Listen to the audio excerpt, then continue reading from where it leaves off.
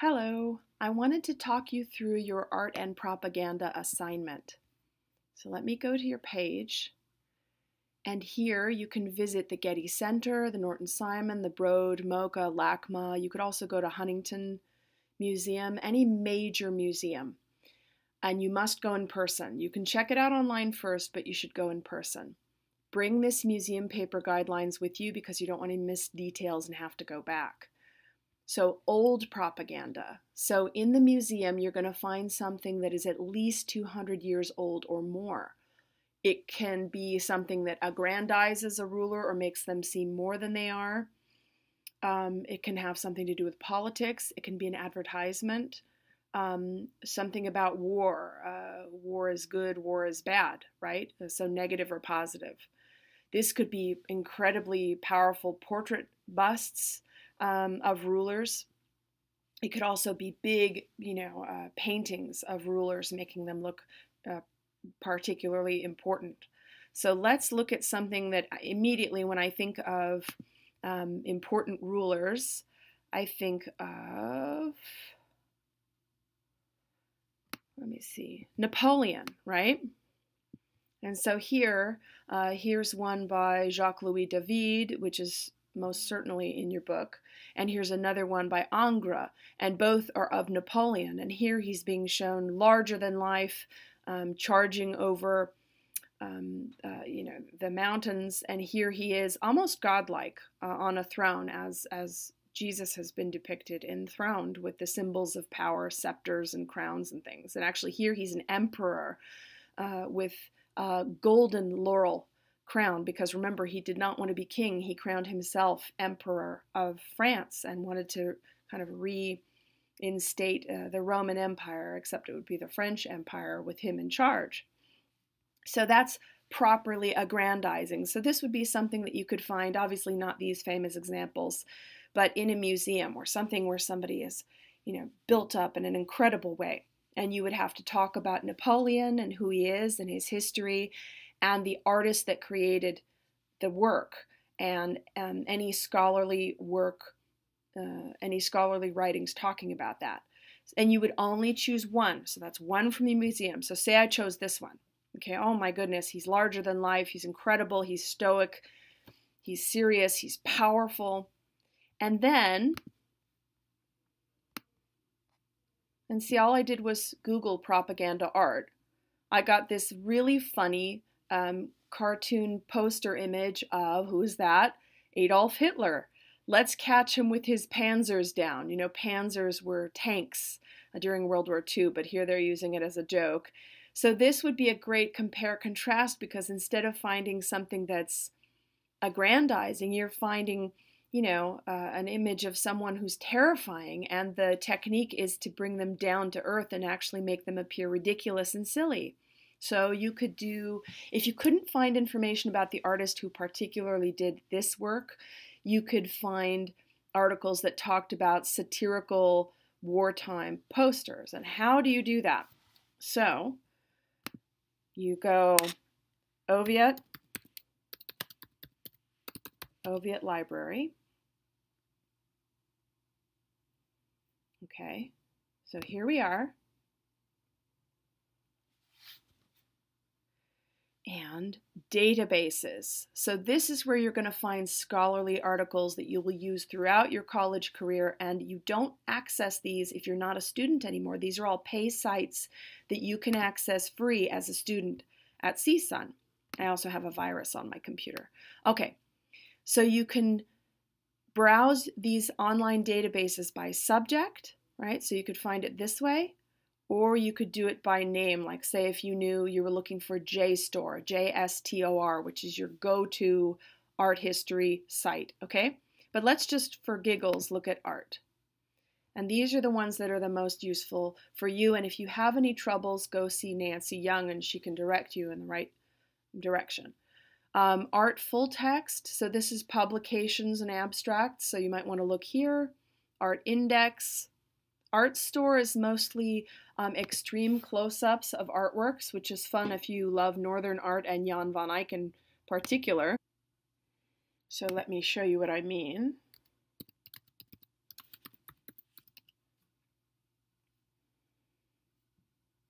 So you love Jan van Eyck and you want to see extreme close up of one of his very detailed works you look on Artstor, and this is just for goofing around, but it's really fun. And see the plus minus here? So you can zoom in, zoom in, back to results. Oh! Zoom in.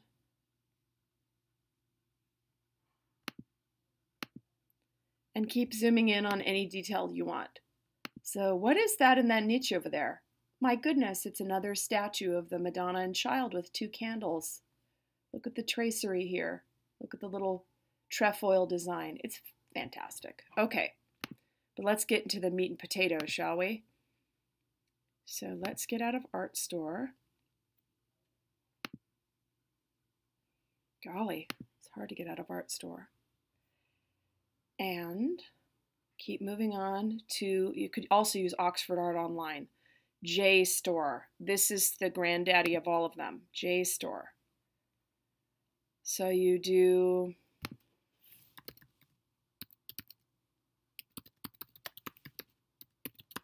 we're just going to see what happens.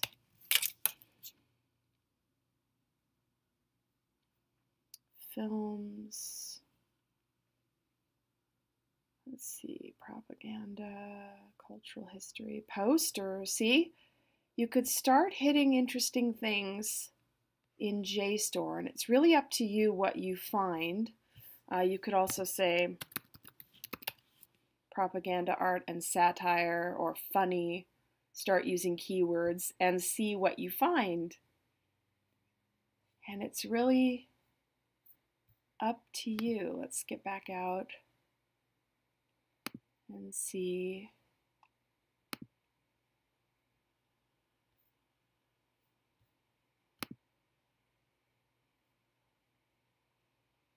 Oxford Art.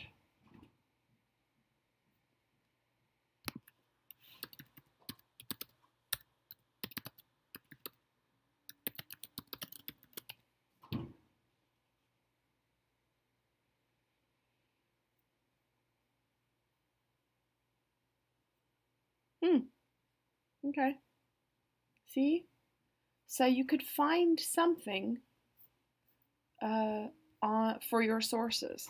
Now, when I talked about your assignment, um, and we used Ingres's Napoleon, and then we um, had uh, the silly Hitler one as its counterpart, you could also find this Napoleon at the museum and do something that's aggrandizing of a ruler of the last 200 years. So you don't have to go serious to funny. Um, y- your thread through the two images could be aggrandizing and aggrandizing, or your thread could be about power or uh, being depicted as incredibly powerful. So I just chose the counterpoint because you can do that. You can have your thread being powerful and then powerless. Um, um,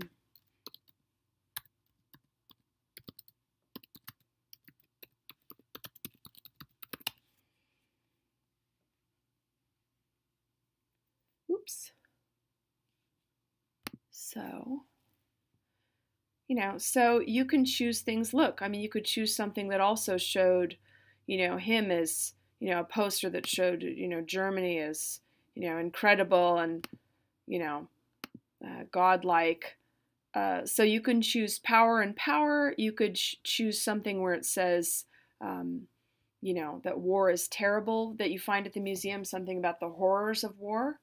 You could also do that. Um, so what you do is you're just looking for a, a through line, uh, something that shows, um, say the propaganda was about food being plentiful.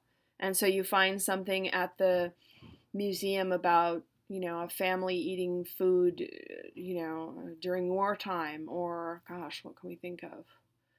Um, propaganda of healthy, well fed soldiers, and then you find something uh, recently. Or you go to um, Getty Villa and you see, you know, Augustus. Um, And if you go to the Getty Villa, it's all Greek, ancient Greek and Roman. So what you're going to find is um, portrait busts of rulers. So yes, they're see. You could say here I'm going to talk about rulers being depicted as endlessly youthful and idealized. And then, so the propaganda that you would look for um, in the last 200 years would be of a ruler who looks incredibly young and is very airbrushed and looks strong and mighty and healthy because almost certainly Augustus was not this handsome. And here, if you can see his little forelock is in the shape of a C, it was to remind people that he claimed that he was related to Venus, the goddess. So he was of divine lineage. He was the divine Augustus. And this is to remind you of the little crescent moon pin that she wears in her hair. So all of this is propaganda to remind you of how important he is. So let's see.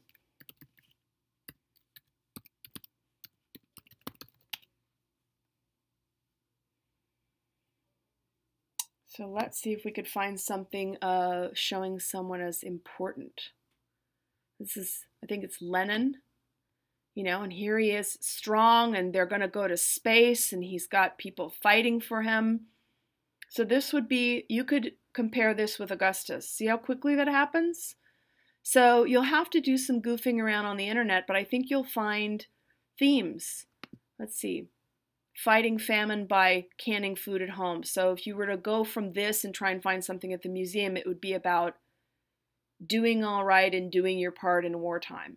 So I don't, you know, it's, it's tough to try and find something first and work backward at the museum. It's better to go to the museum, find something, figure out what the theme is, and then try and match it to something else. Okay, the theme is, um, you know, strong soldiers you know, maybe you could find something of a Greek soldier looking, you know, ripped and buff, or um, uh, people, you know, rushing to war or rushing over the battlements, um, and then you could do it, you know, against this.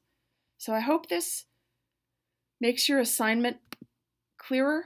You know, that war is awful and that the Germans were terrible brutes, um, and that you had to destroy them. You know that, that this is this would be demonizing the enemy or dehumanizing the enemy and then you could find something at the museum against that.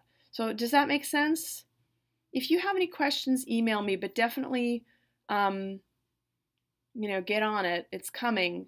But now at least you can uh, find your sources uh, on uh, the Oviatt Library website, and it is really helpful. They have, um, and this is what scholarly resources are. So your your sources must be appropriate um, uh, peer reviewed. You can't get it from a blog and obviously not Wikipedia, so this would be the best place um, to get it at. Okay? Does this make sense? All right, here we are back home. CSUN. Okay, uh, email me with any questions, but get moving. It's coming up. Okay, thanks.